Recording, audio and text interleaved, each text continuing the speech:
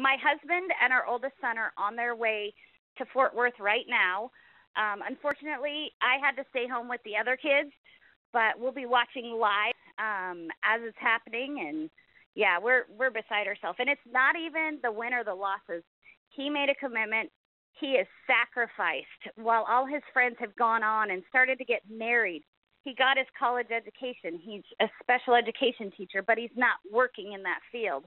He's literally working construction because that's the only thing he can do that allows him to travel the world and wrestle like he needs to do.